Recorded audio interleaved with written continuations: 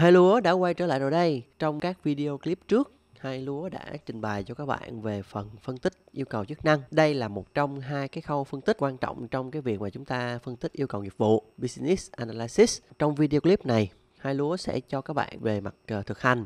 Khi mà chúng ta thực hiện phân tích yêu cầu chức năng thì chúng ta sẽ thực hiện như thế nào ra sao? Và mình sẽ sử dụng một cái case study để mà uh, minh họa cho các bạn về cái việc mà chúng ta làm sao để mà chúng ta có thể thực hiện cái phân tích uh, yêu cầu chức năng khi mà các bạn đã được offer được yêu cầu từ phía khách hàng. Tip của video clip này nó là luyện tập nhiều không giúp bạn giỏi. Luyện tập cần đi kèm với thấu hiểu thì ở đây các bạn thấy là khi mà chúng ta làm bất kỳ điều gì không phải là chúng ta cứ ào ào các bạn làm có rất nhiều bạn mà mình thấy là các bạn không bao giờ quan tâm tìm hiểu về mặt lý thuyết cả các bạn cứ thấy như thế nào các bạn cứ làm như thế rồi các bạn học gì các bạn nhìn gì các bạn cứ ào ào vào thẳng các bạn vẽ vời các bạn mô tả diagram các bạn làm này kia cuối cùng á thực sự là những cái đó sẽ làm cho các bạn bị làm sai hết và cũng như là thực sự các bạn nên hiểu những cái đó nó không gọi là thực chiến mọi người hiểu rất sai về khái niệm thực chiến và thực sự là mọi người theo đang học một cái kiểu thực chiến theo kiểu là giống như là uh, người trước truyền cho người sau rồi ờ, người trước làm thế này làm thế kia với những cái mẹo rồi mánh mung này kia rồi bắt đầu lại truyền lại cho các bạn rồi các bạn cứ làm theo làm một cái như là một cái máy vậy đó là một cái mà chúng mình hay gọi là chúng ta học theo kiểu luyện thi đại học đó. cứ cứ kiểu dạng toán này làm kiểu này dạng toán kia làm kiểu kia rồi cuối cùng thực sự các bạn không hiểu vì sao mà chúng ta làm như vậy. Không thấu hiểu được cái bản chất. Các bạn không nắm được cái bản chất, rồi cuối cùng các bạn làm tùm lum tà la. Các bạn làm sai mà các bạn không biết. Và các bạn làm xong rồi các bạn không biết vì sao mình sai. Và bạn làm xong rồi các bạn không biết mình đúng hay không, đủ hay không vân vân tất cả những cái đó chúng ta đều có phương pháp. Tất cả những cái đó chúng ta đều có cách làm. Và cái điều quan trọng nhất là các bạn phải thấu hiểu lý thuyết cái việc đầu tiên khi mà các bạn học không phải là các bạn kêu là mới học lý thuyết không có thực chiến ờ, chỉ học lý thuyết không có thực chiến, không có gì hết, sai rồi các bạn. Ngày xưa mình cũng vậy thôi, nhưng từ những cái sai lầm, những cái sai sót mình mới ngộ ra được thực sự lý thuyết rất là quan trọng. Và bất kỳ khi nào khi chúng ta bắt tay vào làm thực tế, làm thực hành, làm thực chiến mà mọi người hay kêu á, thì chúng ta phải học kỹ lý thuyết cái đã. Thấu hiểu được từng chữ từng chữ trong cái định nghĩa cái đã. Đây là lý do vì sao mà các video trước mình luôn nói hai câu, đó là chúng ta phải phân biệt giữa định nghĩa và dịch nghĩa. Các bạn thường sẽ dịch nghĩa hơn là các bạn tìm hiểu kỹ định nghĩa. Cũng như là bất kỳ khi nào các bạn làm, các bạn cũng phải phân biệt được mình đang làm gì. Mình đang mô tả business hay là mình đang mô tả system? Mình đang business analysis hay mình đang system analysis? Chúng ta phải rất rõ chúng ta đang làm khâu nào chúng ta đang làm về mục đích gì chúng ta đang làm về nội dung gì. Có những cái đó các bạn mới làm đúng được. Đó thì các bạn thấy nên hiểu không phải là các bạn cứ thực chiến rồi các bạn cứ làm ào ào ào ào là các bạn hay đâu. Hoặc là các bạn có thể hiểu là chúng ta làm một lần là chúng ta giỏi chúng ta có một người thực chiến là người ta, là các bạn tự nhiên các bạn giỏi các bạn hay. Rất là sai lầm. Chúng ta phải, vừa phải luyện tập nhiều là một chuyện nhưng vấn đề trước khi luyện tập chúng ta phải tìm hiểu kỹ lý thuyết cái đã tìm hiểu kỹ định nghĩa cái đã rồi chúng ta hãy làm. Chứ đừng có phải là cứ ào ào vô làm bậy cứ mô tả là các bạn cứ ào ào vô làm sao để mô tả làm sao để xử lý về mặt uh, vẽ vời diagram. Mà thực sự các bạn không hiểu được diagram nó nói về cái gì cái mô tả nó để làm cái gì. Chúng ta phải rất là kỹ cái chỗ đó ha rồi quay lại cái việc mà cái bài thực hành của chúng ta thì ở đây mình sẽ đưa ra một cái tình huống đó là giả sử có một cái trung tâm Anh ngữ đang trong quá trình hiện đại hóa, đang trong quá trình cải thiện hoạt động kinh doanh, thương mại ra bên ngoài với khách hàng thì họ mới tới gặp các bạn. Một cái công ty outsource ví dụ như vậy đi để xây dựng một cái mobile app để giúp cho học viên phụ huynh khách hàng giáo viên vân vân có thể sử dụng các tiện ích của trung tâm có thể giao tiếp với trung tâm mà cũng như là có thể đây là một cái kênh để mà có thể trao đổi với cái trung tâm anh ngữ. Thì như ở cái phần đầu tiên khi mà các bạn đi thu thập yêu cầu thì mình đã nói cho các bạn rồi đó là khi mà chúng ta gặp một cái offer như vậy thì việc đầu tiên không phải là chúng ta chỉ là chờ tới khách hàng chờ tới buổi gặp đầu tiên chờ tới first meeting với khách hàng là chúng ta bắt đầu chúng ta uh, thực hiện những cái yêu cầu liên quan đến chuyện là mời khách hàng trình bày rồi hỏi những câu hỏi và mình cũng đã đã rất là đã kích cái chuyện là chúng ta cứ tối ngày chúng ta cứ ờ, đòi hỏi những cái kiểu giống như là list câu hỏi tuyển dụng list câu hỏi hỏi khách hàng list câu hỏi thu thập yêu cầu. Những cái chuyện đó là những chuyện của BA nghiệp dư và những rất là nhiều trung tâm rất là nhiều chỗ này kia người ta kiểu bùa cho các bạn thôi. Ờ, và thực sự để làm một BA giỏi không ai làm kiểu đó hết. À, cái mình đã nói cho các bạn rồi chúng ta phải thực hiện chủ động. Thì công việc chủ động đầu tiên đó là chúng ta phải chuẩn bị chúng ta chuẩn bị bằng cách chúng ta sử dụng mô hình Beckham à, ờ, chúng ta có thể assumption chúng ta có thể định dạng được định hình được cái mong muốn của khách hàng là cái gì. Rồi sau đó chúng ta dựa vào những cái đó chúng ta đưa ra được phân tích ban đầu về user story về những cái mong muốn của khách hàng. Rồi từ đó chúng ta đưa ra được những cái giải pháp đưa ra những cái sản phẩm.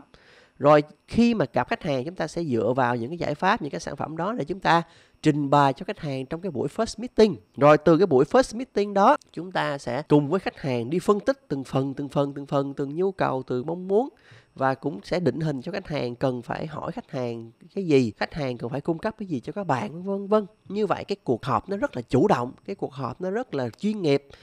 Chứ các bạn đừng bao giờ mà uh, list câu hỏi tuyển dụng list câu hỏi gặp khách hàng list câu hỏi cần thu thập thông tin list câu hỏi này kia list các công việc chẳng có list gì ở đây hết các bạn.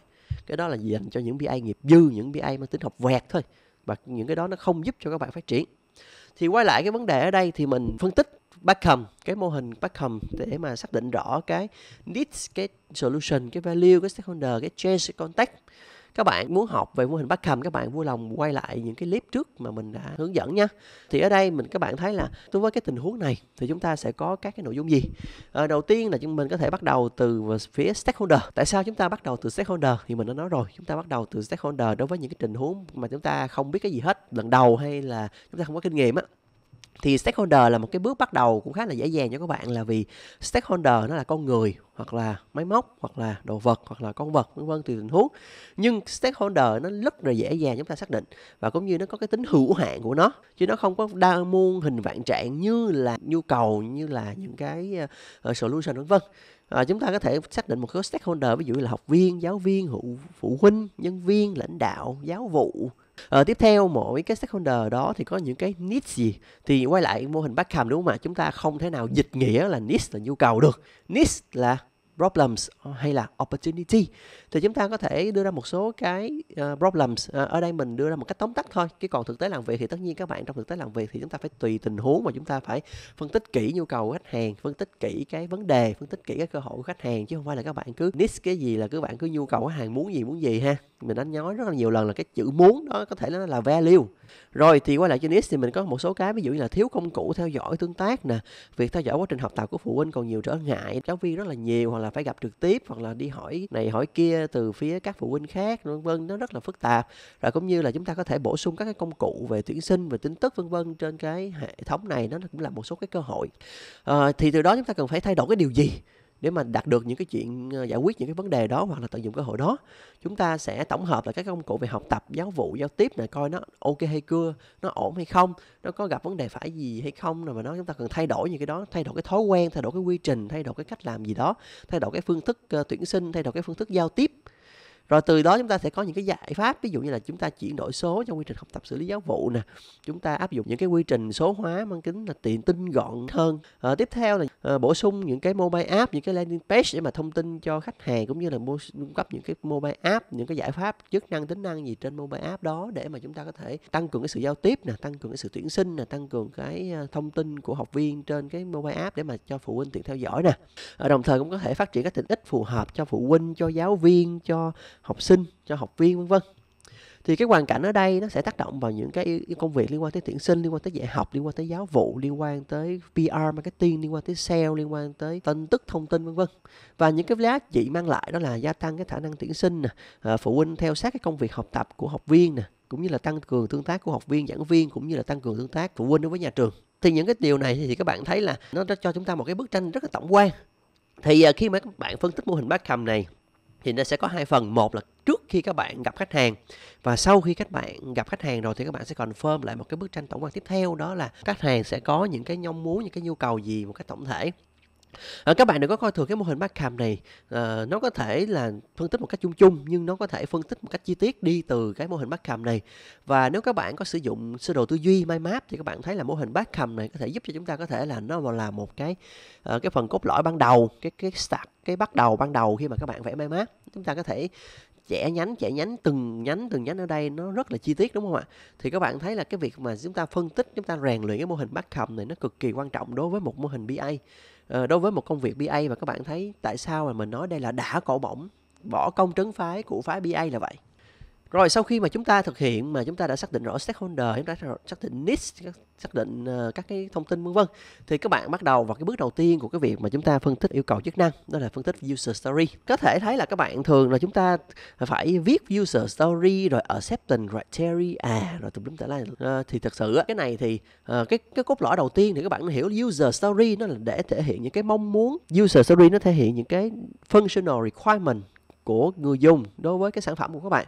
Thì cái vấn đề đầu tiên là các bạn cần phải xác định rõ là mỗi người dùng người ta cần cái gì. Acceptance criteria nó cũng chỉ một phần thôi tại vì nó chỉ thể hiện là những cái yêu cầu những cái mong muốn đó nó kết thúc khi nào. Ví dụ như là uh, tôi muốn đăng ký học thì chúng ta sẽ kết thúc khi mà đăng ký học thành công. Thật sự cái acceptance criteria trong cái việc viết user story nó không có khó. Cái vấn đề là các bạn phải xác định rõ được cái user story nó như thế nào. Ở cái việc thứ hai nữa là các bạn thường hay sử dụng các cái user story map. Thì uh, mình một trong những cái thói quen mình sử dụng user story map đó là mình sử dụng cái cơ cấu hierarchy chart này. Nó dễ hiểu, nó dễ hình dung, nó dễ phân loại, nó dễ phân nhóm. Nó rất là dễ dàng về mặt trình bày. Thì các bạn thấy thật sự cái user story map chúng ta hay thực hiện những template, những cái ví dụ trên mạng. Ờ, ở các bạn cứ thoải mái, mình chẳng có ý kiến gì hết. Còn mình, ở đây mình chia sẻ theo góc độ kinh nghiệm của mình, thì mình sử dụng những cái công cụ nó đơn giản, nó dễ hiểu và nó dễ trình bày. Ờ, chứ mình không có sử dụng những cái công cụ phức tạp gì cho chi cho nó mệt thì bản thân cái này các bạn nhìn thấy trên slide cái nó cũng là một dạng user story map chứ nó có phải là cái gì đặc ờ, khác biệt cho các bạn đâu. Thì các bạn có giờ các bạn có yêu SRO là một học viên. Ờ, tôi muốn tìm hiểu khóa học so that tôi có thể đăng ký khóa học và ờ, tôi biết là tôi tìm hiểu khóa học xong khi mà tôi đã có các thông tin đầy đủ. Ờ, thì các bạn thấy nó cũng là một cái dọc một cái template cực kỳ rõ ràng thôi. Chẳng qua ở đây mình ờ, đôi khi khi mà làm việc á ờ, thực sự là chúng ta không có nhiều thời gian đâu các bạn mà chúng ta viết chi tiết theo đúng template user story thì thực sự nó hơi bị nhiêu khê nó hơi bị phức tạp. Thì ở đây chúng ta có thể viết làm tắt thôi và thực sự ngoài đời á, bản thân mình đi làm mình cũng làm tắt theo kiểu này thôi chứ mình cũng chẳng làm cái gì viết cho nó nhiều. Tại vì thực sự cái acceptance criteria các bạn có thể tinh gọn được. Và cũng như là SRO thì các bạn thấy SRO ở đây mình thấy các bạn thấy là cái cái phần màu xanh dương mình đã SRO rồi đúng không? À, tôi qua à, tôi muốn cái gì rồi? Và tôi cần cái gì rồi thì mình cũng đã thể hiện trong cái những cái phần mà uh, những cái ô hình chữ nhật ở dưới rồi. Và acceptance criteria thì thật ra cũng rất là rõ ràng. Đăng ký thành công khi uh, chúng ta đã đăng ký được khóa học khi nó đăng ký thành công. Rất là đơn giản thì các bạn thấy ở đây mà chúng ta sẽ xác định các cái stakeholder, các cái user, các cái đối tượng user, chúng ta sẽ có các cái user story gì. Và từ những cái user story đó chúng ta sẽ đưa ra họ các có những cái mong muốn gì rất là rõ ràng. Và các bạn thấy ở đây một cái rất là general. Các bạn nhớ user story là một cái high level, một cái general. Các bạn phân biệt rõ user story với task. À, và mình cũng nhắc lại là để làm sao cho các bạn mới làm về user story một cách dễ dàng thì các bạn hãy uh, lưu ý là có thể là các bạn mới các bạn không phân biệt được cái gì là task cái gì là user story thì các bạn hãy cứ liệt kê ra hết đi các bạn hãy cứ liệt kê ra hết các bạn nghĩ ra cái gì các bạn tìm hiểu ra được cái gì các bạn nghiên cứu ra được cái gì các bạn cứ liệt kê ra hết đi rồi các bạn từ những cái đống liệt kê đó bắt đầu các bạn mới phân loại phân nhóm nó ra tìm kiếm những điểm chung thì từ đó các bạn sẽ nhìn ra được là những cái mà các bạn list ra nó có được theo phân loại gì nó có được phân nhóm như thế nào và có nó có được uh, gom lại theo những điểm chung gì. Thì những cái phân loại những cái phân nhóm những cái điểm chung đó nó chính là user story. Đó là cách mà chúng ta có thể làm việc một cách dễ dàng. À, chúng ta hay làm theo kiểu top down thôi top down là chúng ta nói lấy theo chiều rộng lấy theo chiều ờ, lớn. Chúng ta bắt đầu uh, lọc sàng lọc chúng ta uh, bỏ ra một cái phễu cuối cùng nó ra một cái nó tinh gọn nó được phân loại phân nhóm rõ ràng. Thì những cái phân loại phân nhóm những cái tinh gọn đó nó chính là user story. Uh, sau khi mà chúng ta thực hiện về cái uh, user story rồi thì bước tiếp theo thì mình muốn hướng dẫn cho các bạn liên quan tới việc là chúng ta làm sao về chúng ta mô tả các cái business, business process thì à, cái việc mô tả business process này thì mình sẽ thị phạm cho các bạn. Một cái business process đó là cái business process liên quan tới việc đăng ký khóa học. À, thì ở đây thì mình sẽ sử dụng phần mềm Visio và mình sẽ thị phạm cho các bạn. Thì các bạn thấy là như ở cái kỳ trước mình đã nói là một cái phương pháp gọi là phương pháp kể chuyện đúng không ạ? Thì cái việc đầu tiên đối với các bạn mới thì không phải các bạn nhào vô các bạn vẽ cái gì đâu chúng ta mới thì chúng ta nhào vô chúng ta vẽ nhiều khi chúng ta không biết là chúng ta phải có cái gì. Thì bây giờ là bắt đầu công việc việc đầu tiên của mình làm thì mình sẽ nói là cái việc là chúng ta phải kể chuyện. Thì cái việc kể chuyện này nó như thế nào? Ở cái việc kể chuyện này nó là chúng ta sẽ bắt đầu là bây giờ chúng ta phải coi coi một cái câu chuyện liên quan tới việc đăng ký thì nó sẽ bao gồm những cái phần nào. Chuyện này thì mình sẽ cảm thấy là chúng ta sẽ có ba cái nhân vật có thể tham gia vào.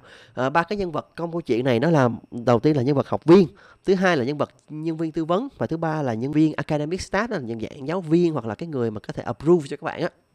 Thì ở đây là câu chuyện này thì sẽ là một học viên người ta sẽ tới đăng yêu cầu đăng ký và uh, từ đó người ta sẽ được uh, nhân viên tư vấn yêu cầu là phải là một làm bài test để mà xếp lớp. À, sau khi là mà làm bài test xong ờ, nhân viên tư vấn sẽ tiếp nhận cái cái thông tin đó cũng như là tiếp nhận các thông tin về mặt làm bài test nè tiếp nhận các thông tin liên quan tới uh, cá nhân nè sơ yếu lý lịch này kia của của học viên nè. Rồi sau đó người ta sẽ view ban đầu và sẽ sàng lọc và chuyển yêu cầu đó cho cá nhân viên academic staff. Cái người academic staff này có thể là giáo viên có trưởng uh, giáo viên hay là trưởng phòng hay gì đó người ta sẽ tiếp nhận thông tin đó kiểm tra thông tin về kiểm học lực về uh, thông tin cá nhân vân vân để mà người ta sàng lọc người ta kiểm tra à, sau đó người ta sẽ thông báo kết quả. À, nhân viên tư vấn sẽ tiếp nhận kết quả đó. Nếu như mà academic staff người ta reject thì sẽ thông báo cho học viên học viên nhận thông báo rồi ra về. Còn nếu như mà approve thì sẽ thực hiện xếp lớp. Thì sau đó học viên sẽ nhận thông báo ờ, thông tin xếp lớp rồi thực hiện các thủ tục đăng ký đóng tiền rồi sau đó người ta ra về người ta kết thúc thì các bạn thấy tất cả những cái đó thì chúng ta sẽ có những cái thông tin liên quan tới việc là chúng ta có các cái nhân vật đúng không? Thì hồi nãy mình nói là chúng ta có các cái nhân vật thì chúng ta sẽ có ba nhân vật. Thì ở đây mình sẽ kéo ba cái swimland. À, chúng ta sẽ có những khái niệm về pool về cái hồ bơi về cái pool và cái làng bơi. Thì ở đây chúng ta thấy là tất cả những cái chuyện này nó đều đều thực hiện dựa trên một thực thể để trên thực thể đó là cái app cái là cái uh, trung tâm anh ngữ nè. Thì tất cả những cái đó các bạn thấy là chúng ta đều có thể để hiện trên một pool. Thì đầu tiên là các bạn thấy mình sẽ uh, đưa ra những cái swimland đó lên thì mới bắt đầu đặt tên. Thì chúng ta sẽ có học viên nè uh, chúng ta sẽ có uh, nhân viên tư vấn nè uh, chúng ta sẽ có academy staff nè. Rồi, ờ, thì các bạn thấy bắt đầu mình đã dàn trang lên rồi thì bắt đầu chúng ta bắt đầu đi tiếp ha. Thì bây giờ chúng ta sẽ kéo một cái ờ, việc là uh, bắt đầu uh, start event. À, chúng ta sẽ start event một cái sự một cái cục bắt đầu. Thì bây giờ cái hồi nãy như mình nói là người ta sẽ yêu cầu một cái uh, yêu cầu về đăng ký khóa học đúng không? Đó, người ta sẽ yêu cầu đăng ký khóa học. à, thì chúng ta bắt đầu cái kể chuyện thôi chúng ta cứ đi từng bước từng bước từng bước chúng ta xử lý thôi không cái này không có gì là phức tạp cả. Rồi chúng ta yêu cầu đăng ký khóa học. Rồi à, đăng ký khóa học xong thì uh, sau đó thì bạn uh, nhân viên tư vấn như nãy mình nói là người ta có thể là uh, yêu cầu uh, cung cấp tiếp nhận này tiếp nhận thông tin này uh, thông tin cá nhân và yêu cầu uh, thi xếp lớp. Người ta sẽ bắt đầu đi tiếp nè do đó đi tiếp. Thì lúc đó thì bạn học viên này sẽ bắt đầu là uh, thi xếp lớp.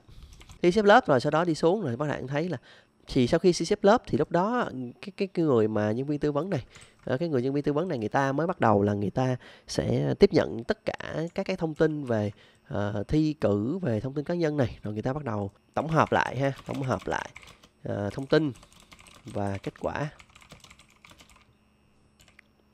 Tất, tất, tất cả những cái thông tin này nó sẽ được thực hiện và sau đó người ta sẽ gửi một cái uh, thông cái message qua bên phía ờ, uh, đóng gói lại sau đó gửi qua bên phía ờ, uh, academic staff. Thì ở đây người ta sẽ tiếp nhận. Rồi sau khi tiếp nhận xong thì người ta sẽ thực hiện các thông tin đánh giá. Nè, kiểm tra. Kiểm tra và đánh giá. Rồi có kiểm tra sau khi kiểm tra đánh giá rồi người ta sẽ thông báo kết quả. Thì lúc đó bạn ờ, bên đây sẽ có thể là tiếp nhận.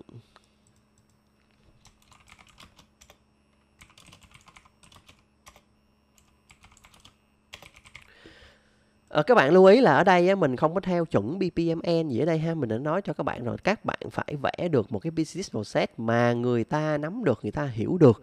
Rồi từ đó các bạn mới có thể xử lý. Thì các bạn thấy ở đây là chúng ta luôn có những cái milestone đúng không ạ? Mình đã có milestone là cái milestone đầu tiên đó là khi mà chúng ta thực hiện về uh, thông tin và tiếp nhận yêu cầu đúng không? Thì các bạn thấy là những cái milestone này mình luôn có một cái thực hiện một rất là rõ ràng đó là mỗi cái milestone nó đều có những cái activity trong đó. Thì bây giờ là các bạn thấy cái việc đầu tiên một cái milestone rõ rất là rõ ràng ở đây đó là khi mà chúng ta thực hiện về tiếp nhận thông tin và đánh giá thông tin ờ, tiếp nhận thông tin yêu cầu và đánh giá yêu cầu uh, tất cả đều được thể hiện trong milestone này. Milestone thứ hai đó là các cái đánh giá nó đã được có rồi thì milestone thứ tiếp theo đó là chúng ta bắt đầu thực hiện các cái việc là thông báo thông tin cho học viên. Đi test nè thì sau khi cái nhân viên tư vấn tiếp nhận kết quả rồi thì bây giờ sẽ có xảy ra hai trường hợp. Ờ, trong trường hợp đầu tiên đó là nếu như mà ở đây mình kéo bự ra một chút để mà chúng ta dễ xử lý nè. Nếu như mà cái đánh giá này nếu như học viên này chưa được approve thì sẽ thông báo cho học viên nè rồi sau đó học viên tiếp nhận thông báo nè rồi ra về. À, thì học viên này tiếp nhận thông tin rồi ra về. À, các bạn cứ kéo ra thoải mái chúng ta sử dụng những cái phần mềm này nó rất là dễ dàng mà chúng ta xử lý theo vì các bạn hiểu là à, đối với những cái này các bạn cứ vẽ đi rồi chúng ta sẽ thực hiện là có gì sai hay cái gì đó là chúng ta xử lý sau. Đó, tiếp nhận thông tin rồi ra về rồi kết thúc. Trong trường hợp mà các bạn thấy là trong trường hợp mà chúng được approve thì người ta sẽ uh, xếp lớp. Ờ, thông báo xếp lớp nè xếp lớp nè, thông báo uh, thời khóa biểu nè. Rồi từ đó là cũng như người ta sẽ uh, gửi thông tin cho học viên uh, tiếp nhận thông tin. Chi tiết hơn thì có kiểu là học viên có thể xác nhận từ chối hay không từ chối nhưng mà ở đây mình uh, thấy cũng không cần cái chuyện đó thì mình có thể là nhận thông tin là rồi nè hoàn tất nè. Ờ, hoàn tất tức nhập học nè rồi sau đó ra về thì các bạn thấy ở đây à, các cái luồng thông tin thì nó cứ đi theo một cái luồng một cách rất là kỹ càng ờ, một cách rất là bình thường thôi. Chúng ta không có cần phải uh, phức tạp hóa hay là cái gì ở đây cả. Và ở những cái mũi mũi tên này thì các bạn cứ uh, uh, thoải mái mà các bạn cứ vẽ đi rồi sau đó chúng ta sẽ uh, xử lý về mặt uh, thông tin về mặt online nó lại sau. Thì bây giờ các bạn thấy là tất cả những cái cái luồng một cách rất là rõ ràng đúng không ạ? Một cái business process ở đây mình cũng nhắc lại mình không theo chuẩn BPMN ha rồi thì bây giờ các bạn thấy là chúng ta rất là dễ dàng là chúng ta hoàn thành rồi. Một cái một process thì bây giờ bắt đầu chúng ta kiểu giống như chúng ta sắp xếp lại nhìn cho nó gọn ghẽ nhìn cho nó đẹp thôi. Các bạn có thể sử dụng cái công cụ có sẵn của Visio. À, các bạn có thể cắt sử dụng các cái công cụ khác ví dụ như là uh, sử dụng uh, raw io để mà các bạn vẽ vân vân. Chúng ta có rất là nhiều cái kiểu mà chúng ta có thể xử lý ha. À, rồi chúng ta sẽ bắt đầu align nó lại nhìn cho nó gọn ghẽ nhìn cho nó đẹp nhìn cho nó này kia đó. Đó sắp xếp lại thôi. Rồi từ ở đây với mặt cái này với cái này cho nó align lại. Thì cái cái một cái cái, cái một kết thúc á, thì các bạn thấy là chúng ta có thể xử lý và chúng ta dễ dàng chúng ta uh, kéo về một cái endpoint không có cần phải kéo nhiều endpoint. Thì bây giờ các bạn thấy nhìn một cái overview về cái sản phẩm của chúng ta. Đó các bạn nhìn đó thì mọi thứ nó đều được thể hiện rõ ràng một cái thứ tự lớp plan mà các bạn thấy. Thực sự vẽ BPMN không quá khó. Và chúng ta có thể hoàn thành được một cái quy trình một cái uh, xử lý về công cụ rất là dễ dàng. Đó. thì các bạn thấy khi mà chúng ta thực hiện về BPMN á, thì các bạn thấy uh, nó cũng sẽ là dịch ra những cái ký hiệu vuông tròn message này nọ theo cái chuẩn ký hiệu thôi. Chứ bản chất nó đâu là cái gì đâu.